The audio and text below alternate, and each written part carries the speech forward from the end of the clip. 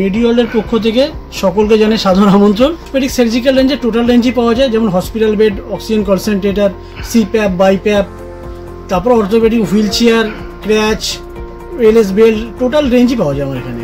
মেডিওয়ার্ল্ডের পক্ষ থেকে সকলকে আমাদের এখানে আসার জন্য আমন্ত্রণ জানাচ্ছি। আমাদের ঠিকানা thirty five Netaji Subhash road, Uttarpara, Hooghly. Near town school এবং ইউকো ব্যাংকের মেন ব্রাঞ্চের পাশের রাস্তা। এবং আমাদের অপোজ আরেকটি ব্রাঞ্চ আছে, সেটা বালি বালি বাজারে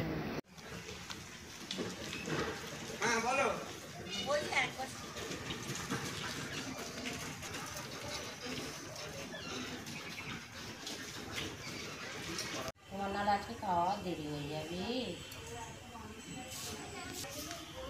না তুমি ধরে খাও ধরো হাতে ধরো হাতে ধরে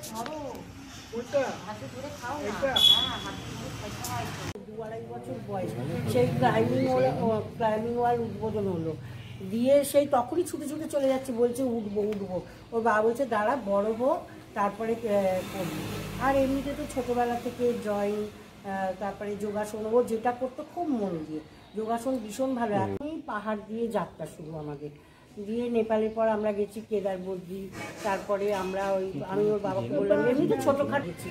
তারপরে কৌশানি সেই দেখলাম যে কত ওপর দিয়ে আমার মেয়েকে এইটুকু দেখছি। সেই কোচের উপরে জামার কোচের উপরে পায়ে ফল পুড়িয়ে নিয়ে এলো।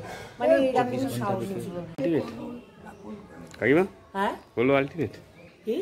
আলটিমেট হলো? ও আচ্ছা। আপনি যে বললেন ওনার যে আজকে আপ্রাণ চেষ্টা। কি কি একটুখানি গল্পটা বলুন? এই তো ওর বাবা? আচ্ছা ছোটবেলা থেকে মানে আমার মেয়েরা যখন থেকে বুঝতে শিখে তার আগে তো এমনি পুরী দীঘা এসব বেড়াতে যেতাম বা পড়াশোনার ছুটি থাকলে। আর সব হ্যাঁ তারপরে তো এই পাহাড় স্কুলের এই অরবিয়ার বেরোতে। দিয়ে সেই থেকে ওর পাহাড় মানে আমরা তো ছোটোবেলায় গেছি তারপরে আমরা ইয়ে বৈষ্ণোদেবী অমরনাথ গেছি তারপরে এদিকে সিমলা কুলুমানালি রোটাং পাস এইগুলো গেছি সব বেড়াতে সবই পাহাড়ি জায়গায়। এবারের জয়টাকে আপনি কি রকম সাফল্য হিসেবে ভাবছেন? এবারের জয় তো আমি খুবই আপ্লুত প্রথমত ভারতবর্ষের মধ্যে এক পেন্টিং কোথায় আমার কাছে? কি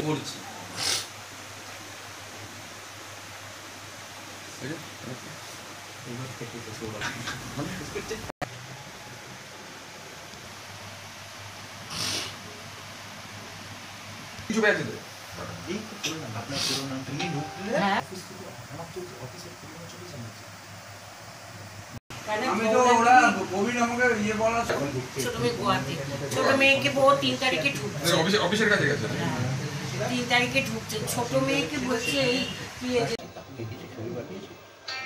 না এই পিকসামিতে কিছু ছবি এখন জানি না হোয়াটসঅ্যাপে এই জায়গাটার নাম হচ্ছে? এই জায়গাটা? শেয়ার করতে চাই। পিয়ালি বয়স কত হলো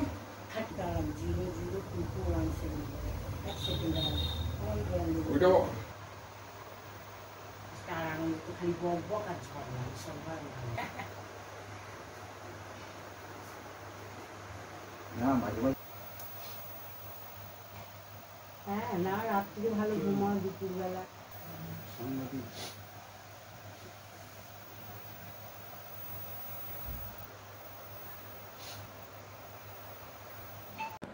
অনুভূতি কেমন? পাড়ার মেয়ে বললে ভুল হবে ও আমার ঘরের মেয়ে। ও আমার ছোট বোন। ওর জন্য এর আগের বারেও যখন ও অভিযান করেছিল, তখনও আমার সর্বোচ্চ পর্যায়ে আমার যতটুকু চেষ্টা করার করেছিলাম এবং আমাদের পক্ষ থেকে, আমি এবং আমার ফ্রেন্ড সার্কেলের পক্ষ থেকে এবারেও যখন ও অভিযান শুরু করে, তখনই আমরা ওর সঙ্গে বসে একটা চেষ্টা করেছি যে আমরা যতটা হেল্প করা যায় অর্থনৈতিকভাবে এবং আমি নিজে ফেসবুকে পোস্টও করেছিলাম যে সকলের সহযোগিতা করার জন্য। এবার তাছাড়াও ওর নিজস্ব যে চেনা জানা আছে অনেক বড় বড় মানুষ আছে, তারা ওকে খুব ভালোবাসে, তারা ব্যক্তিগতভাবে অনেক কয়েক লক্ষ টাকা পর্যন্ত সহযোগিতা করেছে।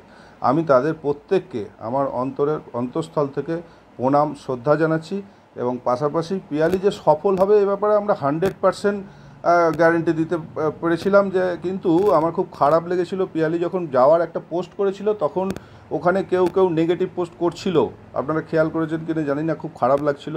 তারা হয়তো অনেকে ভাবছিল যে ফালতু কেন যাচ্ছে এই সেই, যাই হোক, আজকে আমরা প্রমাণ করতে পেরেছি যে আমরা পিয়ালের জন্য যে বাজি ধরেছিলাম, সেটা খুব ভুল বাজি নয় এবং ও যে একটা ভারতবর্ষের প্রথম অসামরিক মহিলা পর্বতারোহী হিসেবে অক্সিজেন, কৃত্রিম অক্সিজেন ছাড়া যে এভারেস্ট জয় করল, এর জন্য আমরা সকলে গর্বিত এবং আগামী দিনে ও আরও যে কোনো পর্বতারোহণের যে ইয়ে টার্গেট রাখবে, আমরা সর্বত্র মানে সব রকমভাবে আমরা আমাদের সীমিত ক্ষমতার মধ্য থেকেও সর্বোচ্চ পর্যায়ে পৌঁছে তাকে সহযোগিতার হাত বাড়িয়ে দেবো।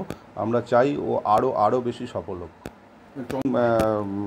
ইয়ে মানাসুল ক্যাম্প করে ফিরেছিল। যেদিন ফিরেছিল সেদিন কিন্তু হাওড়া স্টেশন থেকে আমরা নিয়ে এসেছিলাম ওকে গাড়ি করে এবং সেদিনই আমরা সংবর্ধনা জানিয়েছিলাম ওয়ার্ডের পক্ষ থেকে।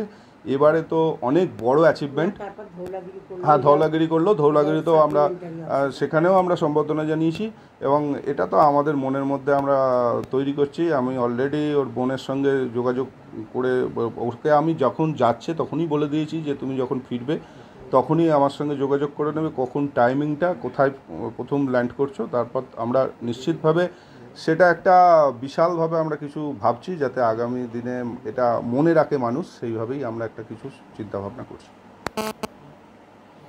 সব উৎসবে, সব পার্বণে, সবার মনে সবার প্রাণে, Chowdhury gold and diamond Uttarpara থানার বিপরীতে।